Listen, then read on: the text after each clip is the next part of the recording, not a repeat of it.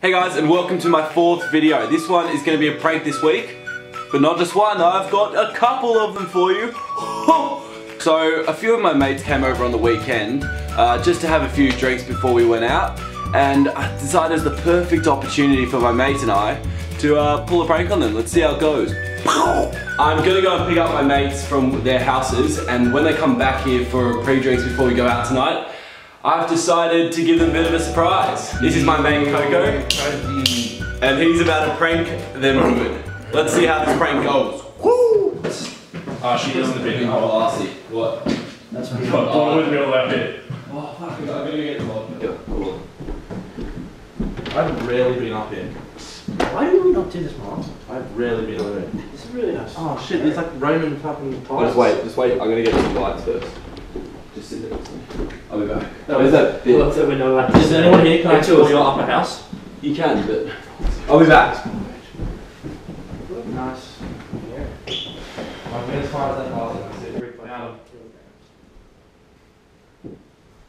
One dollar.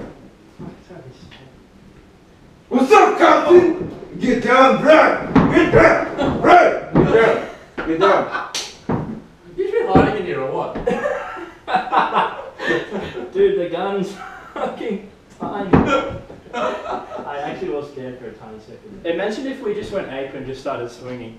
Brad. Get down, You're fucking on the table. You're not wrong, my friend. Me again. Second prank. This one is on my parents since they think I'm an irresponsible child. I'm not.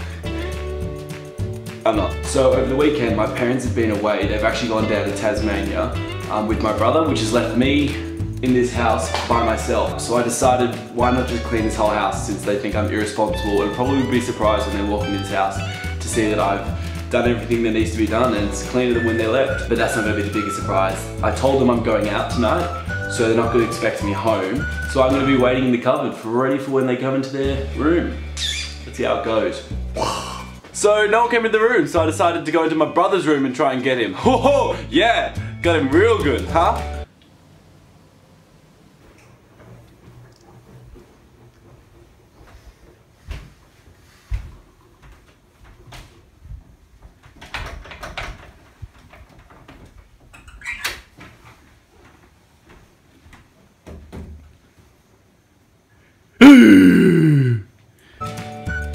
Again. Improvisation time. I decided to go downstairs and prank my mum.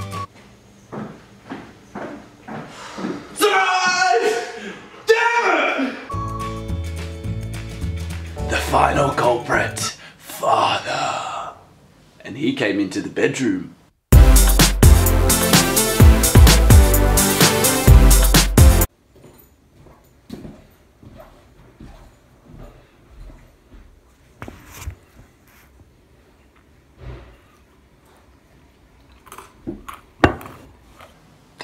Right, right behind you. Du-